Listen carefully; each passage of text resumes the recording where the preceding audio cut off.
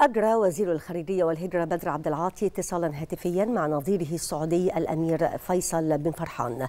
عبد العاطي أكد خلال الاتصال على عمق العلاقات الأخوية التي تربط بين البلدين وسبل دفع أوجه التعاون بين مصر والسعودية على مختلف الأصعدة.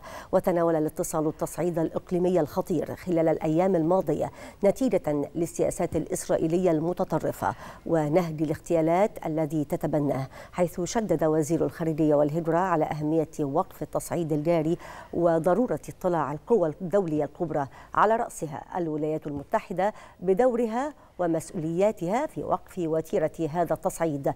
كما ناقش وزير الخارجية الجهود الجادة والحثيثة التي تبذلها القاهرة والرياض لحلحلة الأزمة السودانية وإيقاف الصراع الدائر هناك بهدف الحفاظ على وحدة السودان الشقيق وسيادته وذلك من خلال العمل المشترك على وقف إطلاق النار ونفاذ المساعدات الإنسانية.